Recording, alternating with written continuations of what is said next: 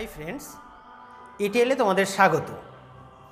আজকের এপিসোডে তোমাদের জন্য নিয়ে এসেছি একটি টুলু পাম্প আজকের এই এপিসোডে তোমাদের বলব একটি টুলু পাম্পের বিভিন্ন পার্ট সম্বন্ধে। তো আর দেরি না করে শুরু করা যাক, যেটার সঙ্গে আমরা কোনো পাইপ কানেক্ট করি। এটার নাম হচ্ছে টেল পিস এবং এটা ইন্টারনাল থ্রেড টেল পিস এটা টোয়েন্টি ফাইভ এম এর ডায়ামিটারে আছে। এরপরে bend, twenty five M M flange twenty five M M gasket এটা রাবার গ্যাসকেট আছে।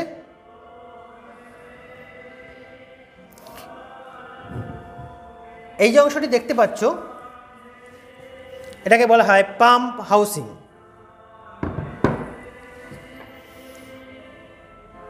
Vent plug.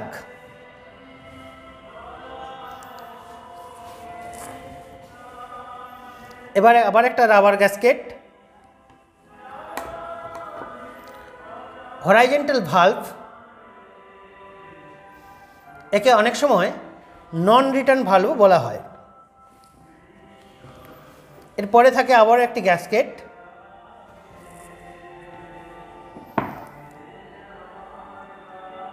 এটি এখন যেটি দেখছ, সেটি ওটা ফ্লেঞ্চ এটা আরও একটি টেলপিস এই টেলপিসটির নাম হচ্ছে external thread tailpiece twenty five M এর। এবার একটু বলি, এই যে পার্ট অংশটি আছে, এটি ডেলিভারি পার্ট, অর্থাৎ পাম্প থেকে বেরিয়ে জল এটার মধ্যে দিয়ে যায়। আর এই যে পার্টটি আছে, এটি হচ্ছে সাকশান পার্ট অর্থাৎ এর মধ্য দিয়ে জল প্রবেশ করে। এখানে যেমনভাবে সিকোয়েন্স দেখতে পাচ্ছ, ঠিক ফিটিংয়ের সময় এইভাবেই কানেক্ট করা হয়। এবার যদি আমরা পাম্পের হাউসিংটি খুলে নিই, তারপরে যেটি দেখতে পাবো, তার নাম হচ্ছে ইমপ্লার এই ইমপ্লার যাতে ফলসভাবে ঘুরে যাতে না যেতে পারে তার জন্য ব্যবহার করা হয় স্যাপ্ট কি। এরপরে থাকে এই দুটো পার্ট এবং এই দুটো পার্টকে আটকানো থাকে এই ক্লিপটি দিয়ে। এই ক্লিপটির নাম হচ্ছে সার ক্লিপ আর এই অংশটি একত্রে নাম অয়েল সিল। এটি তার মুভেবল পার্ট এবং এটি পাম্প হাউসের সঙ্গে ফিক্সড অবস্থায় থাকে। এই যে এন্ড কভারটি দেখতে পাচ্ছ এটা আসলে দুটির কম্বিনেশন একটি মোটরের এন্ড কাভার এবং একটি পাম্পের এন্ড কাভার পাম্পের এই এন্ড কাভারের সঙ্গেই এই অয়েল সিলের এই ফিক্সড অংশটি জোড়া থাকে। অয়েল সিলের কাজ হলো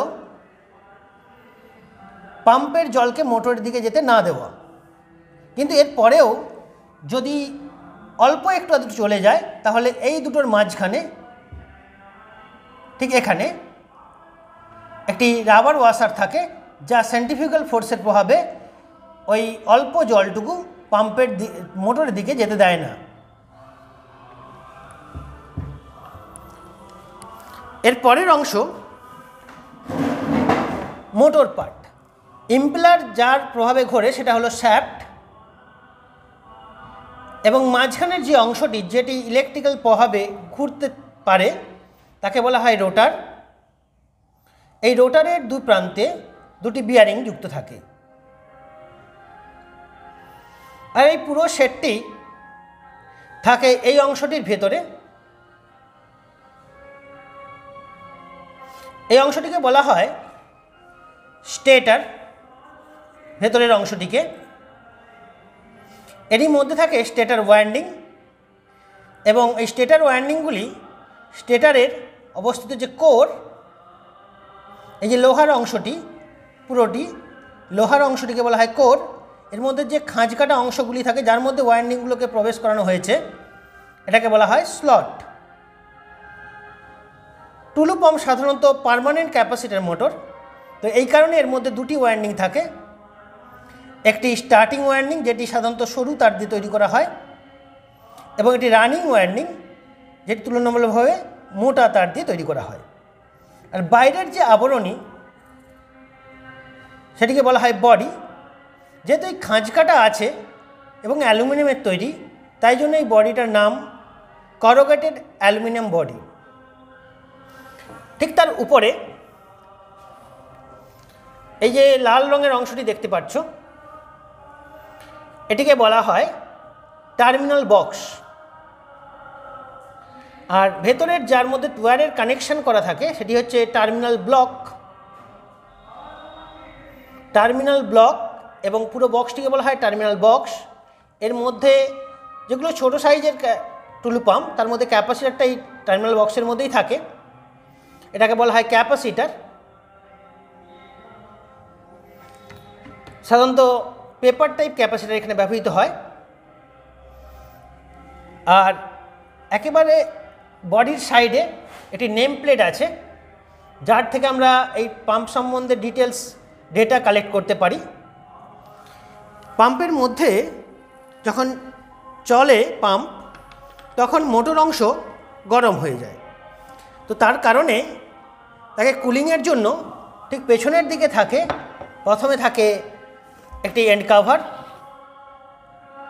এটাকে রেয়ার এন্ড কাভার বলা হয়, এবং এর মধ্যে রোটারের একটি বিয়ারিংও ফিক্সড হয়। তারপর থাকে কুলিং ফ্যান যা বডির উপর দিয়ে হাওয়া চলাচল করতে সাহায্য করে, এবং একেবারে শেষ পার্টে যেটি থাকে, সেটি হলো ব্লেড কাভার সাপ্লাই দেওয়া হয় এই তারটির সাহায্যে সাপ্লাই কেবল। তো এই ছিল এটি পাম্পের, টুলু পাম্পের বিশেষত বিভিন্ন পার্টস সম্বন্ধে। এখানে সিকোয়েন্সিয়ালি ঠিক যেভাবে দেখানো হয়েছে, ফিটিংসের সময় এগুলি ঠিক পরপর সেইভাবেই কানেক্ট করতে হয়। অর্থাৎ প্রথম থেকে শেষ পর্যন্ত ঠিক যেভাবে সিরিয়ালটা আছে এখানে কানেক্ট করার সময়ও সেইভাবেই কানেক্ট করা হবে। আমরা পরবর্তী কোনো এপিসোডে এই টুলু পাম্প সম্বন্ধে আরও বিস্তারিত প্রবলেমগুলো সম্বন্ধে আমরা আসব। তো এটিএল এর সঙ্গে থাকো, এটিএল দেখতে থাকো এবং তোমাদের রিকোয়ারমেন্ট অনুযায়ী আরও কোনো ভিডিও প্রয়োজন হলে তা কমেন্ট করে জানাও। আমরা অবশ্যই তা তোমাদেরকে দেওয়ার চেষ্টা করব। তো বন্ধুরা আজ এই পর্যন্তই। ধন্যবাদ।